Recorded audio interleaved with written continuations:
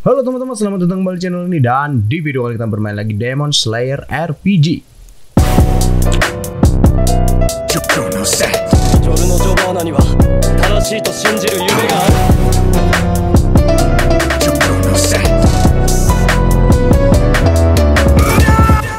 Oke teman-teman, jadi di video kali ini gue mau ngasih tahu kalian gimana cara naik level cepat ya teman-teman ya.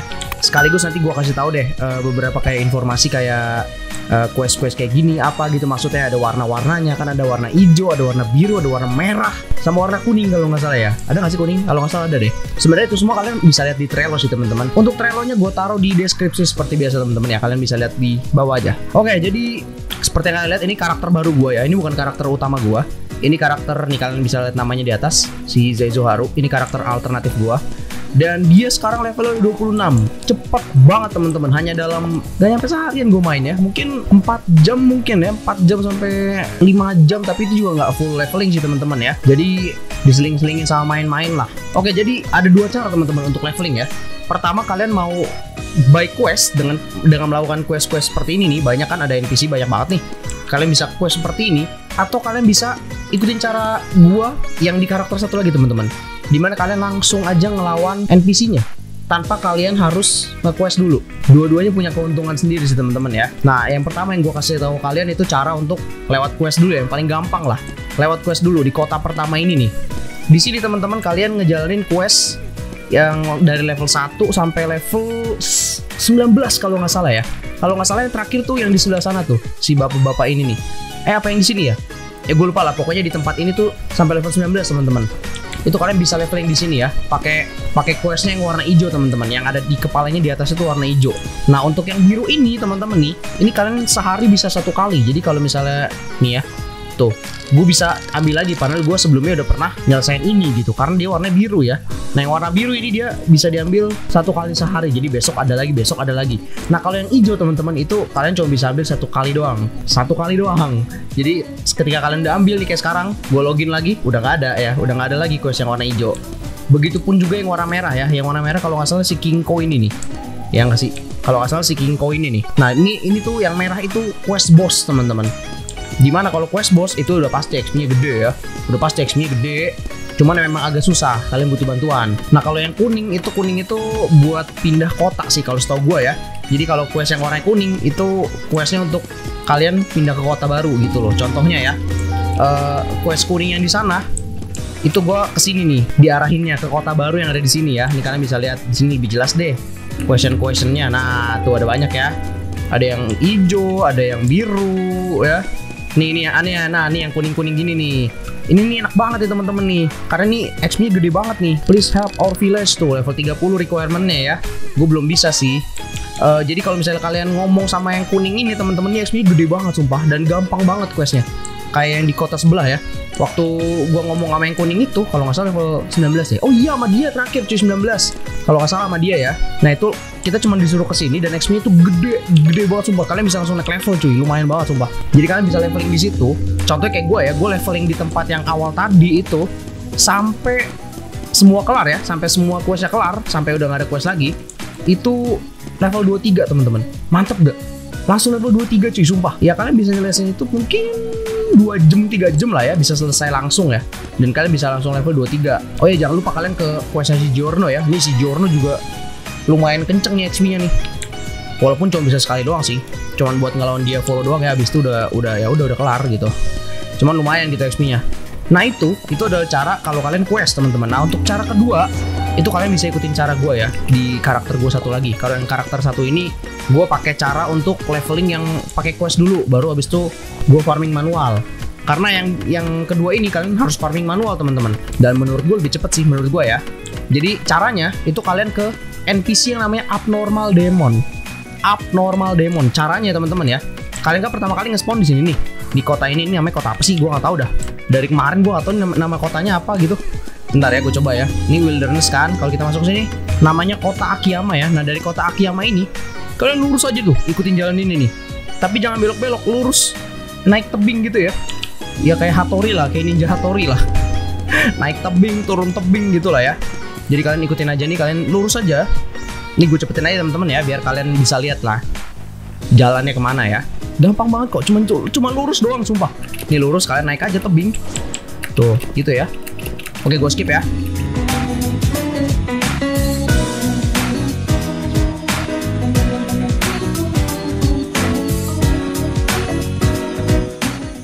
Nah cuy, udah mau sampai cuy, gampang banget kan?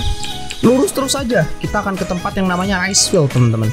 Nah di Rice Field itu kalau malam dia nge-spawn yang namanya Abnormal Demon dan itu lumayan banget, XP-nya lumayan banget. Ini kalau kalian mau lawan gini juga boleh sih, cuman gua nggak saranin ya karena sumpah kuat banget nggak bohong, kuat banget. Nah kalian bisa ke sini tuh lurus ya ada Rice Field tuh, kayak apa sih kayak lahan gitulah. Nah kalian bisa ke situ untuk leveling Abnormal Demon. Caranya itu XP gede banget sumpah kalian nggak perlu takut sih sebenarnya kalau leveling manual untuk demon yang level tinggi kayak gitu ya. Karena abnormal demon itu sebenarnya demon level tinggi teman-teman. Uh, gue saran kalian sih sebenarnya kalian level 20 ke atas ya. Cuman kalau misalnya kalian masih di bawah level 20 pun itu kalian kalian bisa teman-teman. Cara gampang banget. Ini contohnya kayak Mizunoto ya. Ini ini level di atas gue jauh nih. Ini tuh sakit banget sumpah. Cara ngalahin itu gampang teman-teman. Kalian tuh perhatiin ritme dia deh. Ritme dia nyerang nih. Kalian kalian contohin gue ya. Gue contoh ya. Gue serang Nah, dia kan nyerang gue tuh. Nah, kalian perhatiin ritmenya. Aduh, sorry sorry, ngelek ngelek, ngelek banget sumpah. Nah, kalian perhatiin ritme kayak gitu tuh teman-teman. Jadi jangan sampai kalian diserang gitu. Pastikan kalian nyerang duluan tuh kayak gitu ya. Padahal harus tadi kan lihat, lihat kan barusan gue dipukul sakit banget gila. Cuman gue bisa bisa bisa ngapalin ritme dia nyerang gitu loh. Jadi gue bisa nyerang duluan teman-teman. Cara kayak gitu ya. Jadi kalian prediksi dia tuh kapan mau nyerangnya, lalu kalian serang balik duluan. Tuh, XP-nya di sini juga lumayan sih. Gue juga nyaran kalian untuk di sini ya. Apalagi kalau kalian mau latihan untuk ngebaca ritme serangan kayak tadi yang barusan ya. Nggak akan bisa dipukul sih kalau misalnya kalian bisa belajar ritme kayak gini. Dan jangan lupa ngedes ya. Jangan lupa itu Q-nya dipakai. Aduh kan? Gue ngelek kan barusan? Aduh ngelek bagus. Hmm. Dis internet sobet nah naik level gampang banget kan? Nah jadi gitu teman-teman untuk leveling yang nggak pakai quest. Dan sebenarnya sebenarnya nanti quest itu kalian bisa ambil teman-teman. Waktu kalian misalnya udah capek leveling farming manual kayak gini ya kalian bisa ambil questnya karena lumayan gitu. Lumayan dapat XP itu lumayan dari quest-quest yang kayak tadi ya. Nah itu dia keuntungan ya teman-teman yang menurut gua ya. Menurut gua keuntungan kalau misalnya kalian farming manual duluan kayak gini baru besok kalian quest. Tapi kalau misalnya kalian mau quest duluan terus kalian mau abis itu dilanjutin farming manual kayak gua gini itu nggak apa-apa juga sih nggak masalah gitu.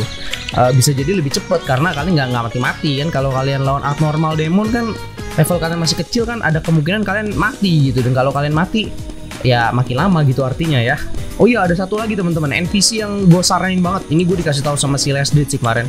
NPC yang gue saranin banget buat kalian leveling ya yaitu adalah samurai Tempatnya ada di tempat yang deket kemarin kita mau ngambil pernapasan api di sebelah kanan sana tuh ya. Gue skip aja ya, kalian kalian udah tahu kan ya. Masa gue harus kasih tau lagi sih? Ya pokoknya tempatnya di sana lah tuh, di situ tuh. Kalian lurus saya ke situ, nanti kalian akan ketemu. Oke? Okay? Nah itu dia teman-teman, samurai udah kelihatan dari sini. Si samurai ini sebenarnya XP-nya nggak sebesar abnormal demon, tapi darahnya itu jauh di bawah abnormal demon, jadi lebih gampang dibunuh ya. Bahkan kayaknya ini lebih kecil daripada Mizunoto deh, gue coba ya. Iya, ini bahkan lebih kecil daripada Mizunoto tadi sih. Cuman lebih sakit damage-nya, jadi kalian mesti belajar ritme dulu ya. Belajar ritme serangan musuh dulu, baru kalian bisa tuh farming di sini ya. Karena kalau kalian dipukul ini meninggal sih, sakit banget sumpah. Cuman XP gede cuy. Lebih gede daripada Mizunoto tuh, lihat kan? Wah gila dapat XP lumayan banget sumpah. Enak sih, farming di sini enak teman-teman dan udah gitu jarak NPC-nya tuh deket-deket gitu ya. Kalau kalian abnormal demon kan jarak NPC jauh-jauh nih. Kita bandingin sama abnormal demon ya. Berapa sih XP-nya perbandingannya ya? Kita lihat. Tadi mungkin naiknya sekitar ya mungkin seperempat gitu lah ya. Seperempat kurang lah. Kita coba kalau abnormal demon berapa ya? Ini nih abnormal demon yang ini teman-teman nih. Ini emang agak emang tebel tuh kalian lihat ya. Darahnya tebel banget gitu dibandingkan sama samurai tadi jauh banget. Makanya gue saran kalian kalau kalian uh, males untuk farming abnormal demon, kalian di samurai. Cuman ya samurai uh, pertama jauh dan kedua sakit banget gitu. Jadi kesempatan kalian mati tuh lebih gede gitu. Kecuali kalian udah bisa belajar ritme yang gue bilang tadi ya. Nah kalau abnormal, abnormal demon kalian sebenarnya nggak perlu takut banget sih. Tapi untuk awal-awal ya pasti sakit. Jadi kalian masih belajar juga ritmenya. Tuh kayak gitu ya. Ut ut nggak kena. Hmm, meninggal. Uh gila XP gede banget anjir. Lihat nggak barusan? gede banget cuy dibanding sama samurai tadi hampir dua kalinya gitu Oke teman-teman jadi itu dia untuk cara leveling cepat ya Jadi kalian nggak nanya lagi soalnya banyak yang nanya kemarin di komen gitu cara leveling cepet gimana bang? Cara leveling cepet gimana bang? Ini caranya begini ya. Kalian bisa quest seperti yang gue bilang tadi atau kalian langsung lawan abnormal demon yang kayak begini nih. Baru habis itu kalian quest kalau kalian udah males ngelawan abnormal demon. Atau kalian lawan samurai yang tadi itu juga boleh.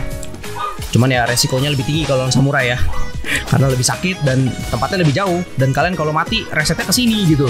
Sedangkan kalau kalian ngelawan si abnormal demon ini, kalau kalian mati kalian resetnya ke sini juga gitu. Ini gua kasih lihat ya. Dan gua mati nih. Gua mati ya. Nih gua mati. Itu dia kan resetnya ke sini gitu. Sama kayak tadi di samurai ya. Ketika gua reset, dia resetnya di sini gitu loh. Nah, jadi sebenarnya eh, enakan di sini sih sebenarnya ya. Soalnya kalau kalian mati, resetnya ke sini lagi.